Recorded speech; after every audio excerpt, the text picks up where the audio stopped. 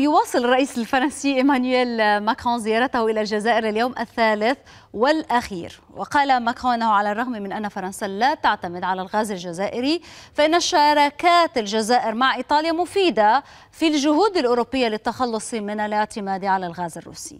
كما تحدث ماكرون أيضا عن الجهود المشتركة للحكومتين الفرنسية والجزائرية في مكافحة الهجرة غير الشرعية.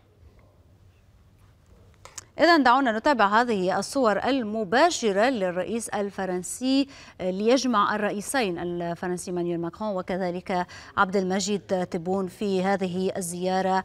زيارة الصداقة زيارة رسمية وزيارة الصداقة للرئيس الفرنسي الأولى من نوعها منذ 2019 بعد فترة من التوترات اللي شهدتها علاقات البلدين. إذا هذه صفحة جديدة يفتحها الجانب الفرنسي مع الجزائر.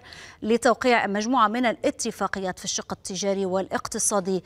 كذلك كما هو متوقع بطبيعة الحال كان هناك في هذه الزيارة اللي دامت ثلاثة أيام مجموعة من المحطات اللقاءات المؤتمر الصحفي اللي جمع الرئيسين زيارة المقبرة لأثارت جدل كذلك بالنسبة للرأي العام الجزائري اللي قام بها الرئيس الفرنسي. واليوم اختتم أيضا زيارته من مدينة وهران بمجموعة من اللقاءات مع عدد من المثقفين والسياسيين والرياضيين.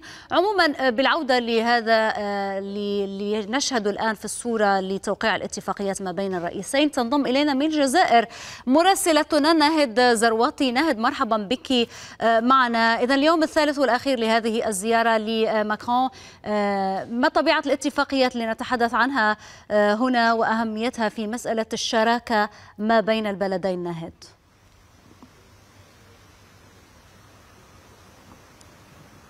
إيمان بالفعل يعني الصور التي تنقلونها الآن مباشرة من المطار الدولي هو مديا على مستوى القاعة الشرفية التي تجمع الرئيسين الرئيس الفرنسي إيمانويل ماكرون والرئيس الجزائري عبد المجيد تبون الرئيس الفرنسي الذي أتى قادما من ولاية وهران أو مدينة وهران ثاني أكبر المدن الجزائرية في زيارة قادته إليها صبيحة اليوم. طبعا كانت له عديد المحطات التي كانت على مستوى هذه الولاية ولكن قبلها عندما اجتمع الطرفان الجزائري والفرنسي هنا بالجزائر كانت لهم توصيات للوزراء وزراء البلدين حتى تكون هنالك مباحثات على انفراد مثلا التجارة الاقتصاد الدفاع وأيضا الخارجية وعديد القطاعات على ضوء هذه الاجتماعات. تقدم التوصيات الأخيرة إلى على مستوى رئاسة البلدين ومنه تكون هذه التوصيات الأخيرة هي الاتفاق الأخير الذي سيوقع بين الرئيسين إيمانويل ماكرون وعبد المجيد تبون وهو اتفاق إحياء الشراكة لعديد القطاعات. آخر اتفاق وقع هنا بالجزائر كان ما بين الرئيس الراحل عبد العزيز بوتفليقة والرئيس الفرنسي السابق فرانسوا هولاند